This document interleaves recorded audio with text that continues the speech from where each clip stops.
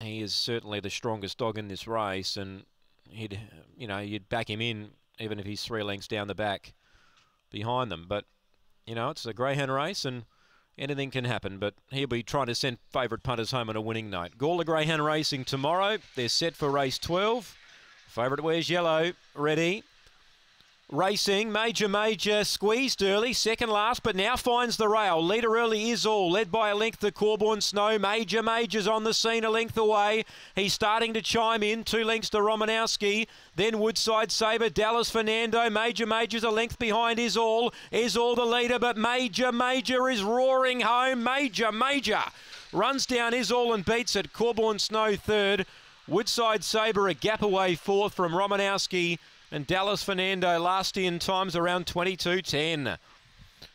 A few worrying moments, but in the end, at the top of the home straight, there was only one dog you wanted to be on. That was Major Major, who was uh, burnt up on the inside and grabbed his all, who's certainly going to win one of these short races soon.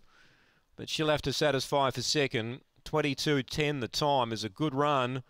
And the second Greyhounds run a very good race there. Two